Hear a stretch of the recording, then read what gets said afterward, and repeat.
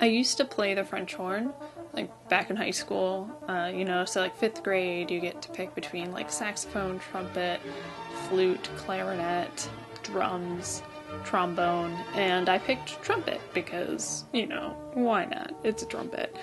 Uh, and then when you get to seventh grade, they kind of uh, decide whether or not you're good enough to go to one of the more quote unquote difficult instruments. Um, and I did. I chose to play the French horn. Um, I'm not going to say that I was like particularly good at it. I wasn't bad, but I I definitely wasn't super talented. Um, I remember senior year, you know, when I had to turn in the school French horn because of course I don't own one. They're like over a grand for like a low end one, and I was I was sad giving up my French horn, but I was like, you know, this is fine, whatever. And my freshman year of college, we did trips to see the Toledo um, Symphony Orchestra, and I the first time I was sitting there listening to them play and I heard the French horns and I just was like, "Oh my god, I miss playing the French horn so much."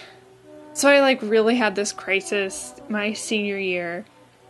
And I went out and I was on Craigslist and I found somebody selling a double French horn for like $200. And I should have known that it wasn't going to work out. Uh, so I go and I buy this French horn for $200. And of course, it's like totally, totally shot to hell. It's just like, um, so brass can rot and it just has this brass rot and it's leaking like a sieve and I'm like so basically wasted $200 on an instrument that I never really even got to play.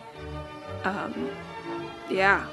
So that really sucked and I always look I look on Craigslist to see if there's a French horn. And there are and they're really expensive and I can't justify spending like two thousand dollars on a something that it's I'm never gonna make money playing the French horn. And it's just it's just frustrating. I miss it. I miss it a lot.